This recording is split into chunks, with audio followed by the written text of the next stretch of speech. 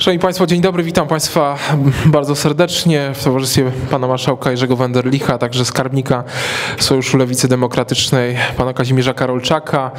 Szanowni Państwo, mamy do czynienia z bardzo poważną sprawą, mamy wrażenie trochę przemilczaną.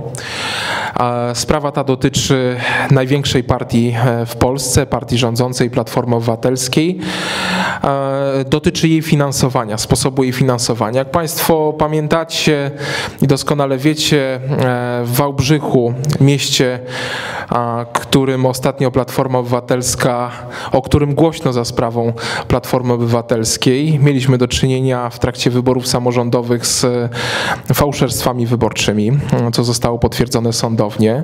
Mieliśmy do czynienia z przekupstwami wyborczymi, co również zostało potwierdzone w sądzie, a teraz możemy mieć do czynienia z płaceniem haraczy partyjnych, bo tak to wygląda. Nawet nawet jeżeli główny bohater, który opowiada na łamach prasy, a który wielo, wiele lat funkcjonował w środowisku Platformy Obywatelskiej w Wałbrzychu, nawet jeżeli jest to pewnego rodzaju próba odwetu, czy jakieś konfabulacje, to to również wskazuje e, patologię tego środowiska. Ale doniesienia są tak zatrważające i fakty są tak e, szczegółowe, że nie sposób pominąć tej sprawy nie sposób się nie przyjrzeć tej sprawie. Bo jeżeli rzeczywiście mamy do czynienia, czy mieliśmy do czynienia w Platformie Obywatelskiej wcześniej e, z e, przekupstwami wyborczymi, z fałszerstwami, a teraz mamy do czynienia e, z haraczami, to jakże można nazwać Platformę Obywatelską w Wałbrzychu? Nie użyję tego sformułowania, ale sami Państwo widzicie tam wspólnie biznes, partia, funkcjonariusze partyjni, funkcjonariusze samorządowi Platformy Platformy Obywatelskiej ręka rękę myje. Bardzo proszę, oddaję głos e, pan marszałek Jerzy Wenderlich w tej sprawie. Zdawałoby się, że najprostszym sposobem e, na to, żeby pozyskiwać jak największą ilość wyborców jest po prostu e, dopełniać obietnic wyborczych, spełniać te obietnice, pracować, rozwiązywać sprawy ważne dla Polaków, ale okazuje się, że są grupy w Platformie Obywatelskiej, które uważają, że pieniądze wystarczą, żeby uzyskiwać dobre wyniki. W Wałbrzychu sąd unieważnił wybory, unieważniono wybory na prezydenta miasta. Stwierdzono, że kupowano tam głosy, co jest ewenementem w historii ponad 20-letniej polskiej demokracji. Pamiętacie Państwo, kiedy Platforma Obywatelska tak bardzo troszczyła się o budżet i mówiła, że partie nie powinny być finansowane e, z budżetów. Ja wówczas wielokroć mówiłem, że to jest bardzo podejrzane, kiedy ktoś uważa, jakaś partia, tak jak Platforma Obywatelska, że sobie poradzi sama, że jakoś sobie poradzi, bo wtedy dopiero budżet tego naprawdę nie wytrzyma. No i rzeczywiście lepiej nie używać e, słów e, takich, E, same, e, nie używać słów takich, e, które mogą być uznane, że jakąś fantasmagorię, tylko posiłkować się tym, co mówią sami ludzie uwikłani w ten proceder. Otóż te pieniądze na kupowanie głosów wyborczych skądś się miały brać. Tutaj kierownictwo Miejskiego Przedsiębiorstwa Komunikacyjnego w Wałbrzychu, jego były prezes który nie ukrywa imienia i nazwiska, mówi, że z jego przedsiębiorstwa mogło przepłynąć do Platformy Obywatelskiej, z miejskiego przedsiębiorstwa nawet pół miliona złotych. Był wiceprezes Miejskiego Zarządu Budynków z Wałbrzycha.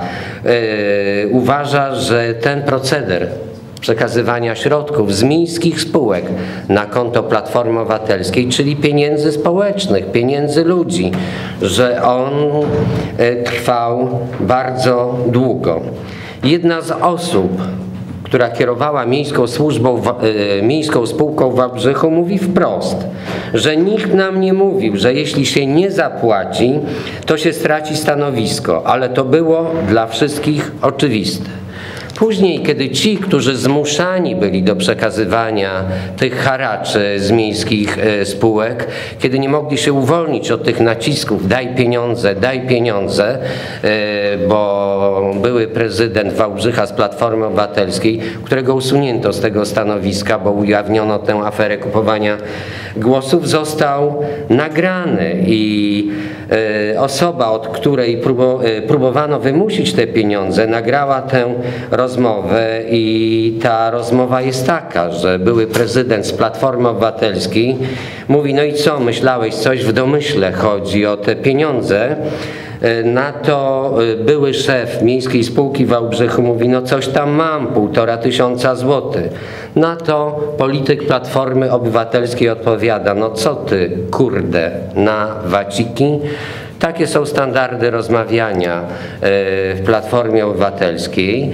Jesteśmy przed wyborami. To rzeczywiście są sytuacje, które zatrważają, bo pokazują, jak w wyborach Platforma Obywatelska potrafiła sobie radzić i okazuje się, że skutecznie, bo prezydentem został w Wałbrzychu właśnie przedstawiciel Platformy Obywatelskiej, póki sprawa nie wyszła na jaw. Dziś wiemy, oprócz tego, co wiedzieliśmy już parę miesięcy temu, że głosy były kupowane, dziś już są tropy, które pokazują skąd te pieniądze były i one nie były z prywatnych kieszeni, tylko jak ma, mówią ludzie i zeznają ludzie z imienia i nazwiska, były to pieniądze z miejskich spółek. My nie jesteśmy od wskazywania winnych, my nie jesteśmy od stawiania sentencji, zarzutów, ale są to tak porażające informacje, że trzeba je przed wyborami czym prędzej sprawdzić.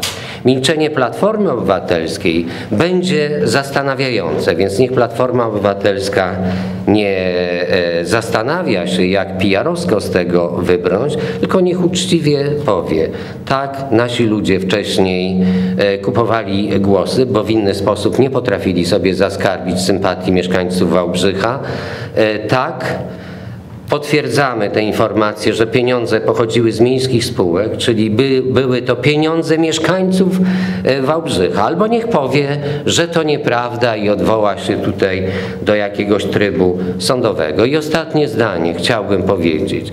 Ja w Wałbrzychu wielokroć bywałem. Znam tam wiele osób.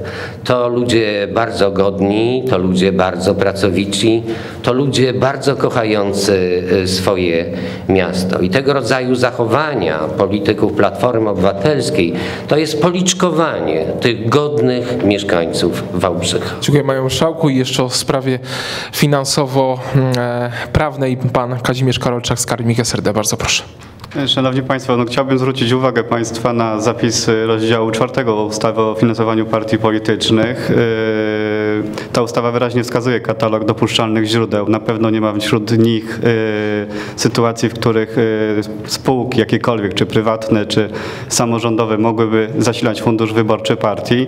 W świetle tego praktyki należy sobie zadać pytanie, czy tak miało wyglądać systemowe finansowanie partii politycznych w momencie, kiedy została byłaby zlikwidowana subwencja dla partii politycznych. Uważam, że Państwowa Komisja Wyborcza i odpowiednie organy powinny wyjaśnić właśnie dokładnie ten wątek. Jak według Platformy Obywatelskiej powinno wyglądać finansowanie partii y, politycznych. Y, te przykłady, te, które y, mamy, które płyną z Wałbrzycha, niestety nie napawają nas optymizmem.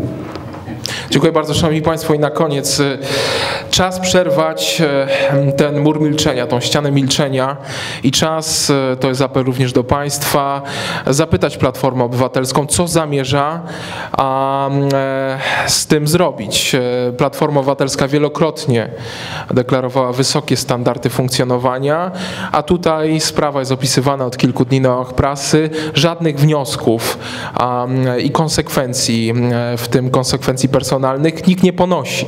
A władze Dolnośląskiej Platformy Obywatelskiej w dalszym ciągu sprawują swoje funkcje, a ktoś na to przez te ostatnie lata musiał patrzeć i nie reagować. Więc apelujemy również do pana premiera Donalda Tuska, do władz Platformy Obywatelskiej, także na Dolnym Śląsku o wyciągnięcie konsekwencji wniosków personalnych. Mamy nadzieję, że już w sierpniu, kiedy odbędą się e, wybory w Wałbrzychu i zostanie wyłoniony nowy prezydent, Wałbrzych zacznie, mamy nadzieję, nie z Platformy Obywatelskiej, Wa- Wałbrzych przestanie słynąć z tego, że afera Platformy Obywatelskiej goni aferę.